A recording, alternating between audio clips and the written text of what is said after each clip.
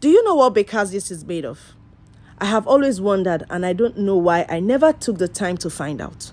Some time ago, after taking a critical look at it, it looked to me as those tiny little organisms that you sweep away from old doors in your grandfather's house. It really looks like it. Can someone confirm to me if they are one and the same thing?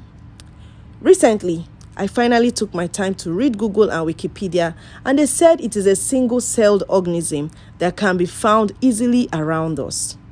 Anyway, if you buy yeast and it cooperates with you, like it proves very well, like this batch I worked with, it is a baker's joy and delight. See the rising now, very beautiful.